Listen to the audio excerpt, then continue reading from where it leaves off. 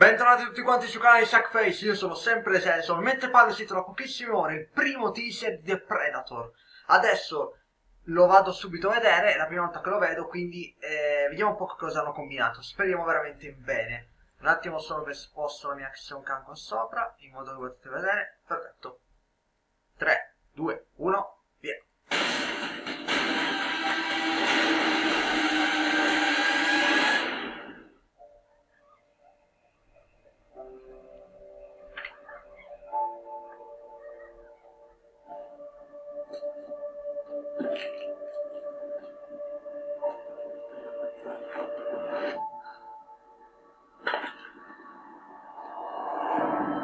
La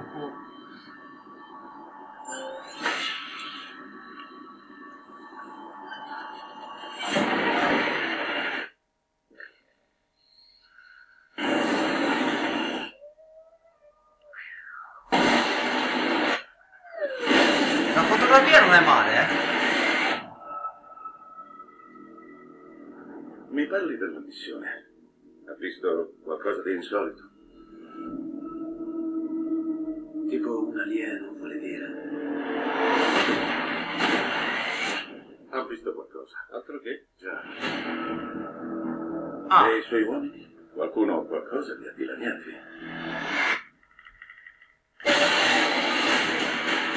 Credo che stiano tentando l'ibridazione. Si potenziano ad ogni pianeta che visitano. Dobbiamo sapere se costituite una minaccia. Siamo assassini. Punto non è costituire una minaccia.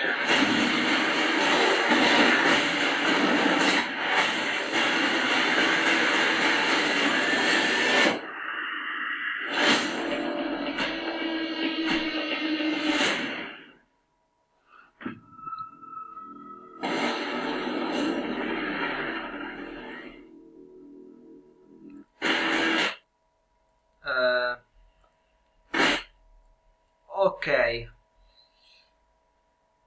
È un teaser, quindi non è che l'ho mostrato granché, si sa, però abbiamo più o meno capito come sarà la trama. Questo bambino trova quello che è un, un antefatto dei Predator e richiama l'astronave che arriva sulla Terra e questi iniziano dalla cassa per recuperare appunto il manufatto. Ragazzi, allora, è un teaser, però devo dire veramente che sono rimasto allibito. È, è fatto benissimo. È un trailer montato bene. Tra l'altro, porca puttana, finalmente delle creature aliene che non sono fatte con la computer grafica. Oh! Io speravo infatti che non avessero inserito la computer grafica. C'è, ma solo per la nave. Se vedete l'astronave è fatta con la CGI, però quella è. Però il Predator, se lo vedete bene l'inquadratura e come al solito col costume, questa cosa mi fa veramente impazzire. Finalmente. Poi, allora, il film mm, sembra un riscontro nuovo, vero? L'ha detto, usano antefatti genetici, eh, genetici, le, la razza dei Predator geneticamente modificata. Quindi diciamo che saranno dei Predator diversi da come li conosciamo. Infatti mi sembrano anche più violenti, vedo anche delle scene abbastanza sanguinolente. Questo mi piace perché è un film di Predator, lo voglio vedere.